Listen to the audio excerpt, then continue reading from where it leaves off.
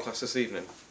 So, the, the book of Micah. Um, we're going to spend over uh, two weeks uh, to, to think about this book.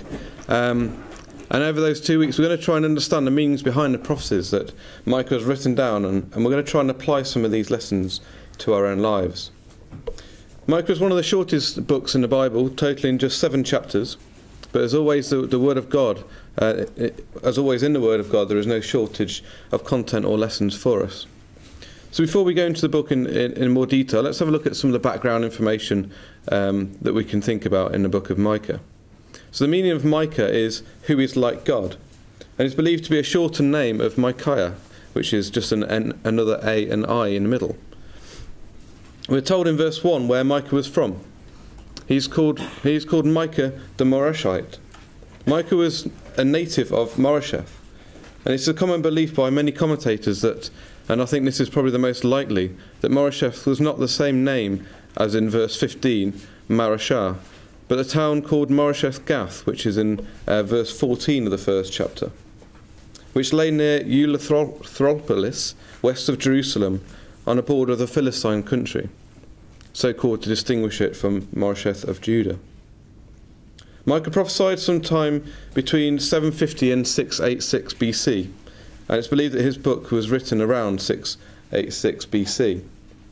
And at this time in the world's history, there was quite a number of prophets warning the people in that area. And during Micah's life, there was there were other prophets, people who I'm sure he gained strength from and gave strength to. As we read in verse 1, Micah prophesied during the time of Jotham, Ahaz, and Hezekiah, kings of Judah. But we also know there are some other contemporary, contemporary prophets during that time of uh, Hosea and Isaiah. So let's just read the first verse of Micah chapter 1. The word of the Lord came to Micah the Moreshite in the days of Jotham, Ahaz, and Hezekiah, kings of Judah, which he saw concerning Samaria and Jerusalem. And if we turn over to Hosea in chapter 1, we can read The word of the Lord came, that came unto Hosea, the son of Beeri, in the days of Uzziah, Jotham, Ahaz, and Hezekiah, kings of Judah, and in the days of Jeroboam, the son of Joash, king of Israel. And in Isaiah chapter 1, we read, The vision of Isaiah, the son of Amos, which he saw concerning Judah and Jerusalem in the days of Uzziah, Jotham, Ahaz, and Hezekiah, kings of Judah. And in our introductory reading, we, we read about Isaiah, didn't we, in those final two verses? We'll come back to that chapter a little later on. As Jotham was the son of Uzziah, we can deduce that Micah came along a little later than Hosea and Isaiah. He prophesied over three generations of kings, and in that time there was quite a lot of change. Let's have a look at some of the summaries of these three kings, so we get a feel for the background of the time and the situation that the people were in when Micah was prophesying. So 2 Kings chapter 15 and verse 32, please.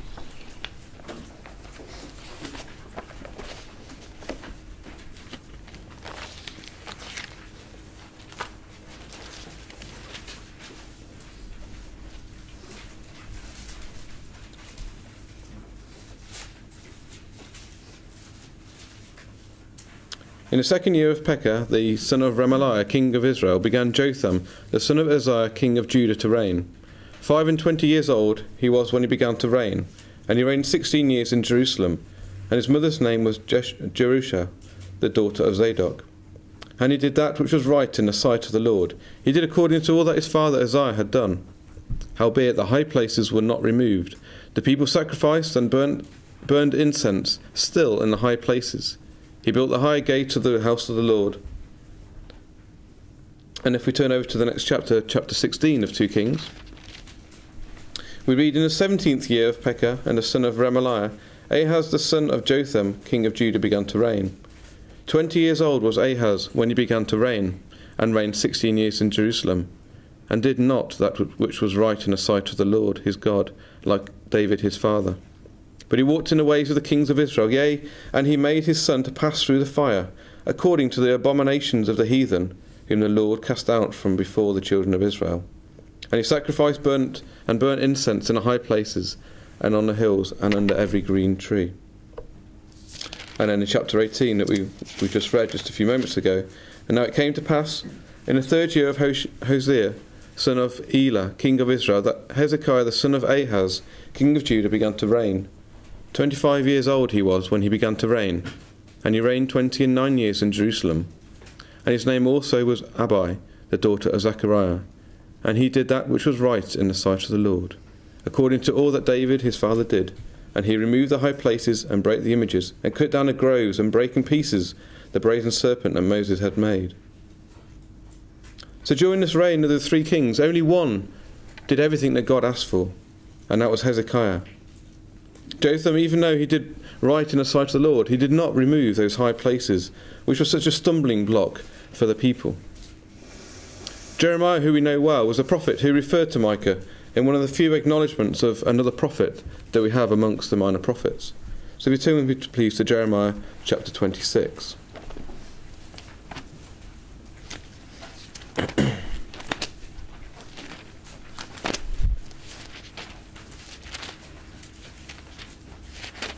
Jeremiah 26 and verse 18.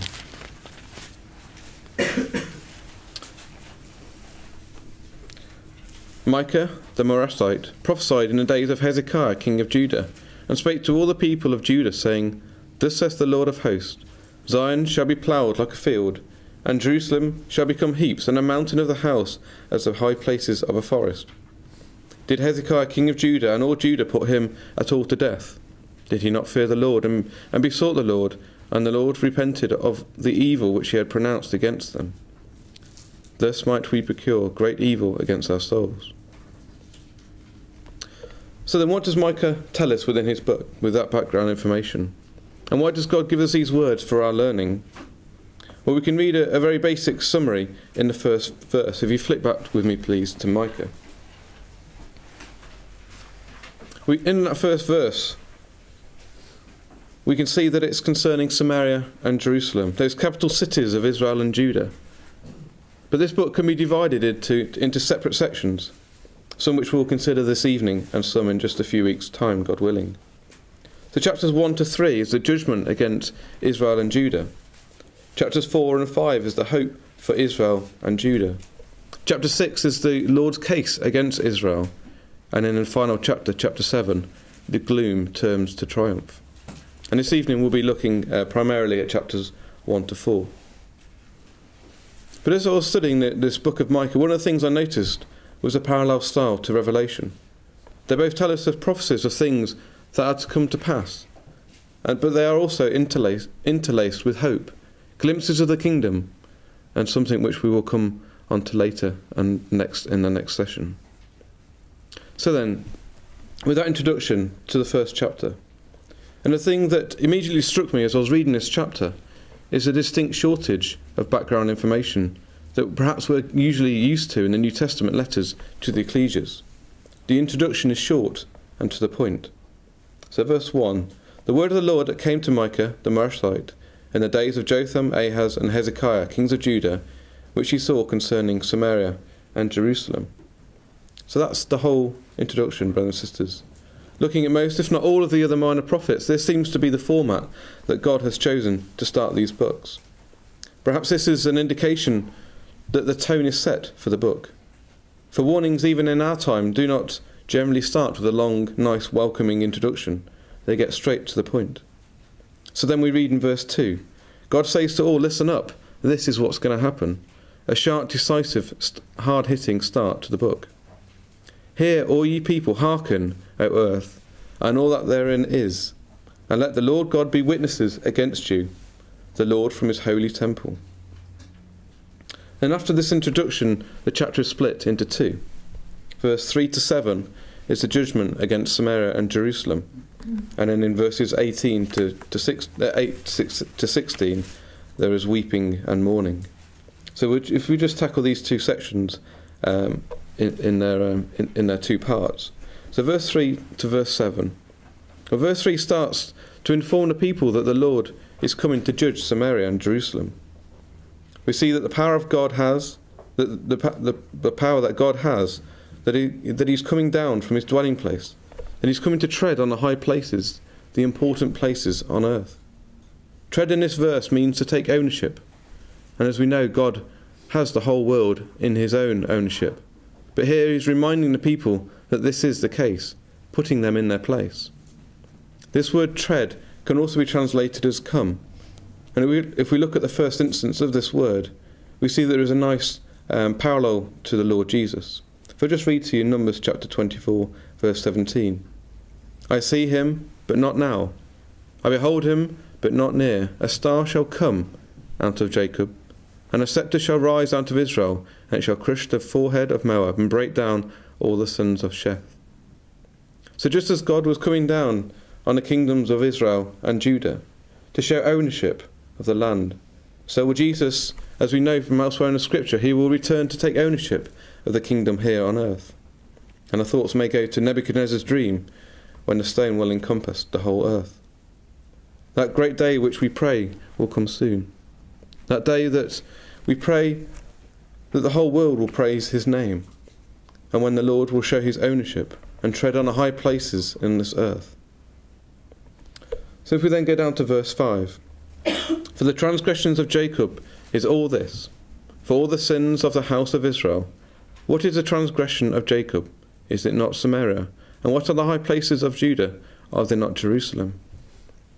Micah tells us that the transgressions are in the heart of the countries.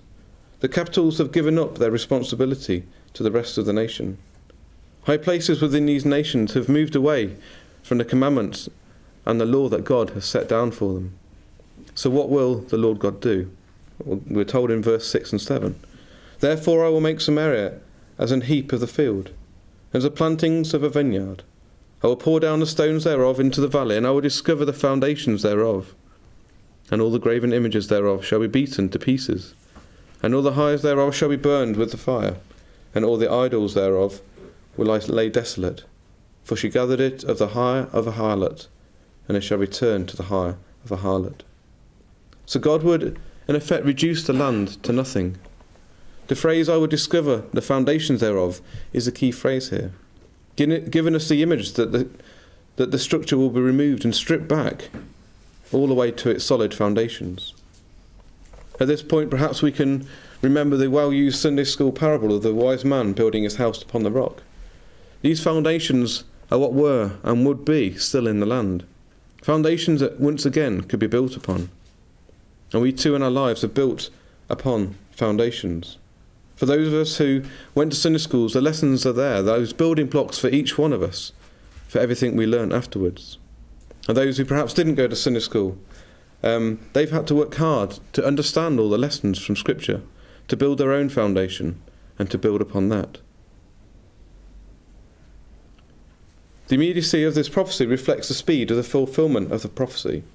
For in 722 and 723, Assyria destroyed Samaria, the ten tribes under Sennacherib. But then we move on to verse 8 to 16, these verses are in future tense. But as we know, the reason for this weeping and mourning has happened in, in Micah's lifetime. We should think of a section, this section as a historical passage as to what Micah went through himself. Think of the emotions that Micah went through, not only knowing what will happen, but that he knew that the people wouldn't listen to him and therefore they would not listen to God. The disappointment and sadness of knowing what will happen. In verse 8, we see the effect that this had on Micah. He says he will weep and wail and go barefoot and naked. The commentators suggest that this nakedness points to the ritual of lamentation, when the mourner, mourner would not be completely naked, but would be wearing a garment of mourning, a coarse, a sackcloth like covering, woven from goat hair, and typically black as we read that again in our introductory reading that Hezekiah did that in verse uh, chapter 19. But it also perhaps points us back to events such as Jacob and Joseph. So I read to you uh, a couple of verses from Genesis 37. And he knew it and said, It is my son's coat, an evil beast has devoured him. Jacob is without doubt rent in pieces. And Jacob rent his clothes and put on sackcloth upon his loins and mourned for his son many days. And in Jeremiah 6 we read, O daughter of my people, gird thee with sackcloth, and wallow thyself in ashes. Make thee mourning, as for an only son, most bitter lamentation, for the spoiler shall suddenly come upon us. And as I said, we, we can also look at our introductory reading that Hezekiah too followed this ritual in, in 2 Kings 19. So if we then move on to verse 10 of, of Micah chapter 1, we read about the rolling in the dust, another ritual of mourning. And in verse 16, the symbol of shaving their heads is a ritual of mourning. These are very public and obvious signs for those around to see. We can imagine those people who heard the words of Micah being reminded of the prophecy after they see Micah in mourning, so that they may remember the sin they have committed, but also reminded, as we see later on, this isn't how it will end. In verse 10, he tells the people in Gath not to tell anyone about this destruction, as the Philistines would know and revel in the problems of Israel, much in the same way that David and Jonathan did in 2 Samuel chapter 1 and verse 19. The beauty of Israel is slain upon the high places, how they are how the mighty fallen. Tell it not in Gath, publish it not in the streets of Ascalon, lest the daughters of the Philistines rejoice, lest the daughters of the uncircumcised triumph. In some of the remaining, uh, remaining words that we read in the first chapter in Micah, there are a number of places uh, uh, uh, named. And I'd like just to, to go through some of the meaning behind these words. So, Gath, as we just thought about, is don't tell the enemy our misfortune. Bethlehem Ephrata, which is in verse 10, means in a house of dust, roll yourself in the dust. Verse 11, Shaphir, means the inhabitants of the pleasant town will go away in shameful nakedness. Zaanan means the inhabitants of the going out town will not get away. In verse 11 we read Beth, Bethezel, which is the people of the foundation house will lose their support. In verse 12, Maroth means the inhabitants of the bitter town will wane in vain for a change of fortune. In verse 13, Lachish means those in the, the team of horses town will hitch their team up of horses to retreat. Moresheth Gath means the inhabitants of the betrothed town will be departing to live with their new husband, the king of Assyria. And we can go on. But we can see that these names of these cities are very apt for the judgment that was about to be given to them. So if we then move on to chapter 2, it starts with yet another with another warning. Verse 1 and 2 warns the people who plot and plan iniquity, and once again tells those who plot these things what will happen to them from verse 3. Yet another quick and decisive statement and judgment straight to the point. So, chapter 2 and verse 1. Woe to those who devise wickedness and work evil on their beds. When the morning dawns, they perform it because it's in the power of their hand. They covet fields and seize them and houses and take them away and oppress the man and his house, a man and his inheritance. But we can read of similar people in Psalm 36. If I just read to you the first four verses of Psalm 36. The transgression of the wicked saith within my heart, that there is no fear of God before his eyes, for he flatters himself in his own eyes, until he until his iniquity be found to be hateful. The words of his mouth are iniquity and deceit. He hath left off for to be wise and to do good. He deviseth mischief upon his bed. He setteth himself in a way that is not good, and he boreth not evil. So we can see the problems which cause the violence. Because Micah was stating the problem so vividly, we can imagine the problem wasn't with just a few people. Seizing land, not buying it, but seizing it. Micah tells us that they first coveted the land, one of the commandments that God said we must not do. But because of that, we see how they started on that slippery slope. It probably started with just a few people with green eyes looking around for their own gain. Then plotting to take over land from others, probably far nicer land than they had of their own. Then over time others saw what they were doing and started looking for their own gain. And it's example of the effect of what we can have on other people, even within our own ecclesia. We can be affected so easily without noticing until it's gone far too far too far down the line. Moaning about small problems can have a huge adverse effect on others, an effect that we must try and avoid in our ecclesial life. For we never know the discouragement that it might bring to people, or the unhappiness that it might bring to someone's life. We're all in this ecclesia together. We must try to create harmony amongst ourselves.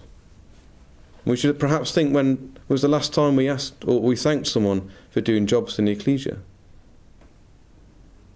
And perhaps we should also count the times in which we've done something wrong. And we said something wrong to somebody else. We should weigh up whether we are being a positive influence on others around us. Because there can be good and bad effects on others. We should try to make sure that we have a positive effect on people. Opposite to that time of Micah. We can encourage each other and edify one another by reminding each other of uh, the wonderful hope that we share. We can help out in the ecclesia whenever we can and look to bring the ecclesia to a better and a happier place. Not just by coming to as many meetings as we can, but by wanting to share fellowship with each other outside these four walls, and working in the background without grumbling to aid the continuation of this meeting.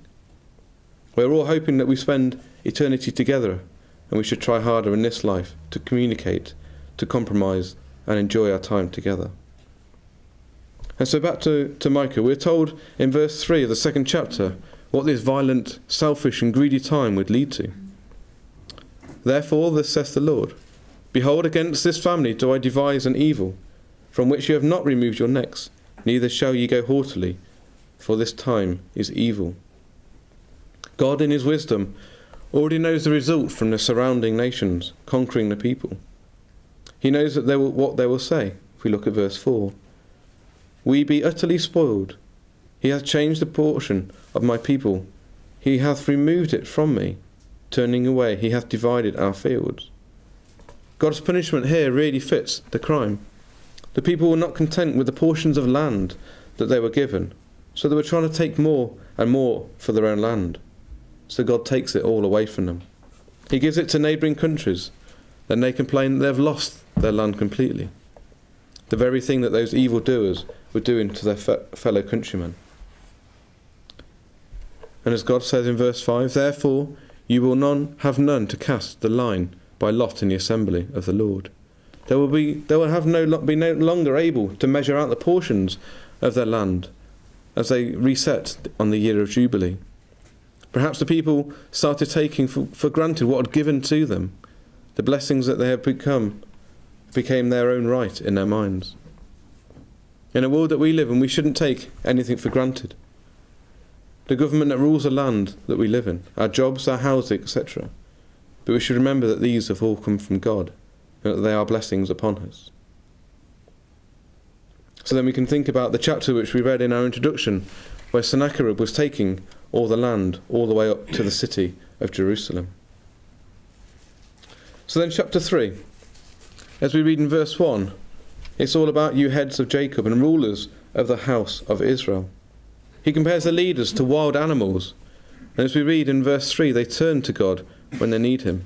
The leaders were not only doing things that God asked them not to do, the things that God had put in them to, the position to do, they were actually doing the opposite. They were pushing others away from the laws of God. And this perhaps can be summed up by the analogy of being a shepherd for the people or a wolf to the people, actively pushing the sheep away. I'm sure you can imagine that when the sheep are alone and vulnerable, they are lost in their ways, as those people were at that time.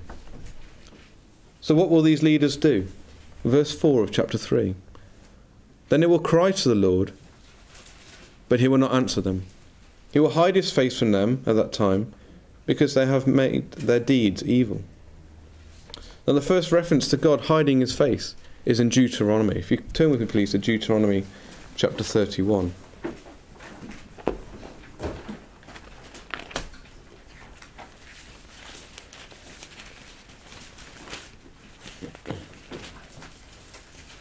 Deuteronomy 31, verse 15.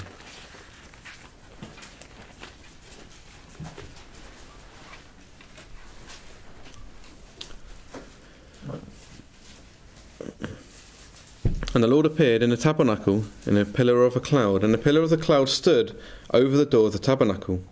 And the Lord said to Moses, Behold, thou shalt sleep with your fathers, and this people will rise up and go a whoring after the gods of the strangers of the land, whither they go to be among them, and will forsake me and break my covenant which I have made with them.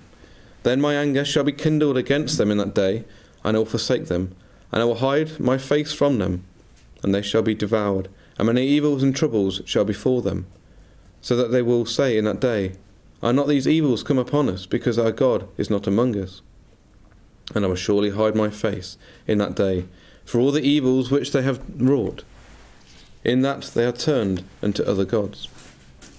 Now therefore write ye this song unto you, for you, and teach it to the children of Israel. Now perhaps this is a point of discussion for later, but I believe that this is referring to the time of Micah. There are a few other places in the Bible which refers to God turning his face from the people.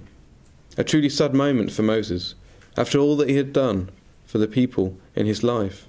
He knew that once he passed away, the people would once again turn to the idols, just as they did at the foot of that mount with the golden calf. Emotions must have troubled Moses at this knowledge, but perhaps in his heart he already knew this would happen. But we can also see the parallel to our Lord Jesus Christ here.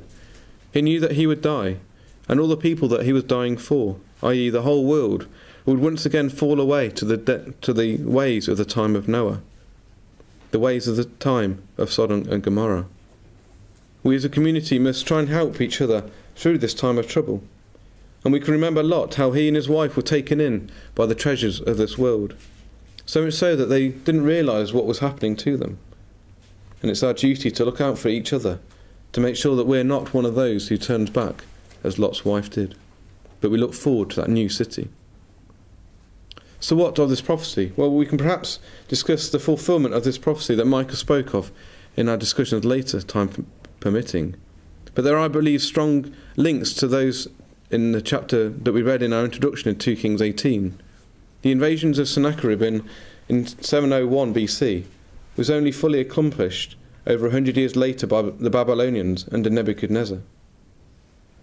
Had Hezekiah not been affected by Isaiah and Micah, the complete fulfillment may have come significantly earlier. And we can think to the time of Sennacherib that he had the city of Jerusalem, surrounded with thousands of troops, only to be destroyed by God. In the Chronicles of Sennacherib, there is one point of this heroics that he decided to leave out, and wouldn't, and wouldn't we all? So then, chapter 4 in Micah, if you turn back with me, gives us a glimpse of the kingdom, as we've, we've briefly thought about earlier on. In the middle of Micah, we have this wonderful hope of the kingdom of God. So, Micah chapter 4. But in the last days it shall come to pass that the mountain of the house of the Lord shall be established in the top of the mountains, and it shall be exalted above the hills, and the people shall flow into it. And many nations shall come and say, Come, let us go up to the mountain of the Lord, and to the house of the God of Jacob. And he will teach us of his ways, and we will walk in his paths. For the law shall go forth of Zion, and a word of the Lord from Jerusalem. And it shall judge, and he shall judge among many people, and rebuke strong nations afar off. And they shall beat their swords into plowshares, and their spears into pruning hooks. Nation shall not lift up sword against nation, neither shall they learn war any more. So amidst all the, mis- the, the misery that is foretold in Micah, there is a breath of fresh air, and a reminder of no matter how bad the times that we go through are, we still have the hope that we have of the kingdom. Just as Micah tells the people within his prophecy, we too have the kingdom to look forward to. And there are a few verses that are almost a reiteration in Isaiah chapter 2. If I just read Isaiah chapter 2, verse 2, if you just follow those words in Micah. And it shall come to pass in those last days that the mountain of the Lord's house shall be established in the tops of the mountains, and shall be exalted above the hills, and all nations shall flow into it. And many nations shall, and many people shall go and say, Come ye, and let us go up to the mountain of the Lord, to the house of God of Jacob. And he will teach us of his ways, and we will walk in his paths. For out of Zion shall go forth the law, and the word of the Lord from Jerusalem. And he shall judge among, among the nations, and shall rebuke many people. And they shall beat their swords into plowshares, and their spears into pruning hooks.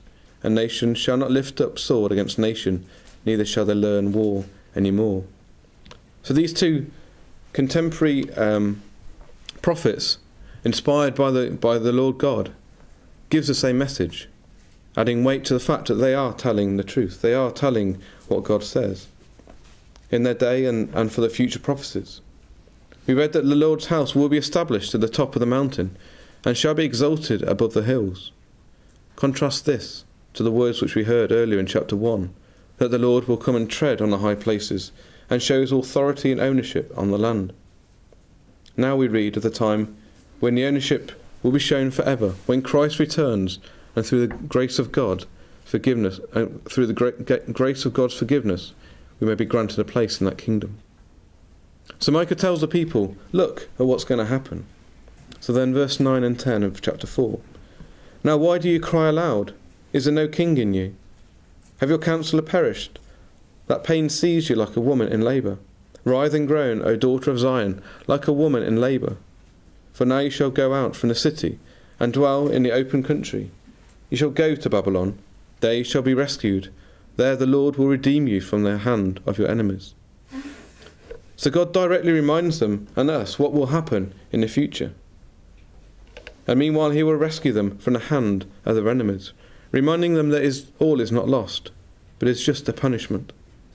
We too have to remember that all the affliction and all the troubles that we go through in this world are coming because we of what Adam did, but also that God will rescue us from this moment of destruction of these of these mortal bodies. We have to remember that God, that in our lives, God will only push us as far as we can cope. We all have different amounts for all different people. However, we have to keep in our hearts the thought that this is only a punishment and trials. But ultimately, we too will be saved, and we will have to keep our minds, if we, if we keep our minds on the future kingdom. In verse 8 of chapter 4, we read of a tower, which I'm led, led to believe is the same tower as the one in Genesis 35 verse 21, where Israel journeyed on and pitched his tent beyond the Tower of Eder. Perhaps this is a, a point of discussion later on, and I'd be interested in your thoughts on that. So then, what have we learnt over the first four chapters of Micah? We've seen that the people in Israel and Judah were practicing many things that were against the will of our Heavenly Father.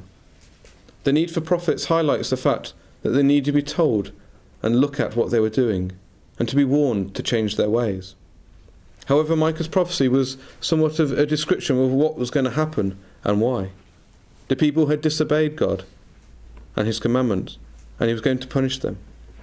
The people had been led astray by the leaders that we read in, in chapter 3, but were reminded of the hope that the people have and could have if they only listen to God and his prophets. We too in our lives should understand the laws and commandments by reading the Bible each day, thinking of the days in which we do not thinking of the days in which we do not think of God and His Son. Our, our days feel empty when we suddenly put into perspective all the problems our lives compared to the greatness of the salvation that we can have. Remembering all that has been done for us, we suddenly feel that, that thought of belonging once again. There are many warnings for us in Scripture. We can see them in virtually every book. But like in Micah, we see the foreshadow, the glimpse of the kingdom, to remind us why we should follow his commandments, just as we, just as we can do in Revelation. We can also remember that when a prophet's short term prophecy comes true, we can believe in the long term prophecies. An example is the kingdom of God for us. And it shall come to pass in the latter day that the mountain of the house of the Lord shall be established as the highest of the mountains, and it shall be lifted above the hills, and the peoples shall flow to it. So that's the first uh, four, briefly, the first four chapters in, in Micah. Next time we'll consider chapters 5 to 7. And it, this will show the continuation of the glimpse of the future way beyond Micah's time. The promise of our Lord Jesus, and then we'll look at the, some of the transgressions of Israel. We'll see that Micah sadly laments the woeful decay of the religion in the age where he, wherein he lived, and the immorality which overwhelmed the nation. And I'm sure we'll be able to draw strength from these words as we look to the world that we live in, which one day we pray we will see the, the return of our Lord Jesus Christ. Thank you.